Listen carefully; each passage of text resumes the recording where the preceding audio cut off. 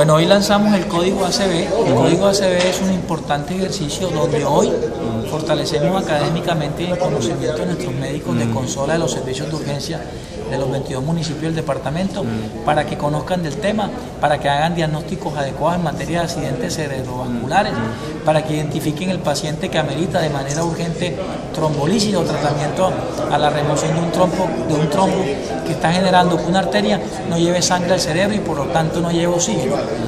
Aquí corremos contra el tiempo, es fundamental el tiempo, así como la articulación perfecta en el conocimiento del médico de urgencias, en el manejo adecuado de la urgencia de primer nivel y la remisión en transporte y sitio de recesión adecuado y urgente para el paciente es vital.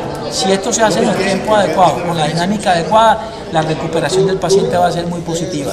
Si se dañan los tiempos y se daña la herencia de la guía, va a ser un paciente que puede quedar con secuelas lamentables, un paciente con discapacidad motora, discapacidad sensitiva, discapacidad en el habla, en la fasciculación, en los movimientos importantes del cuerpo. Por eso lo fundamental de este trabajo es que el tiempo es esencial entre el diagnóstico y, el, transporte adecuado y oportuno al sitio que definitivamente le va a mejorar la condición de vida a nuestros pacientes. Usted hablaba de que había cuatro hospitales que estaban en la, como, apoyo, ¿no? Son cuatro instituciones fundamentales, SCAR y alta complejidad, Hospital Fundación eh, del Norte, mm. la Clínica Bonadona Prevenir y la Clínica Centro.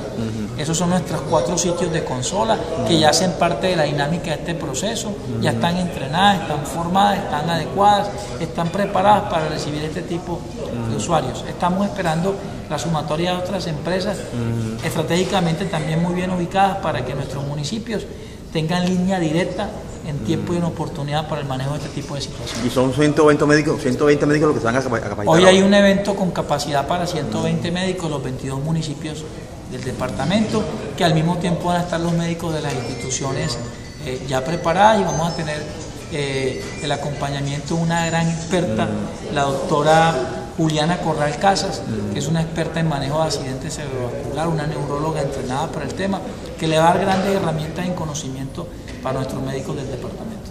Muchas gracias, doctor.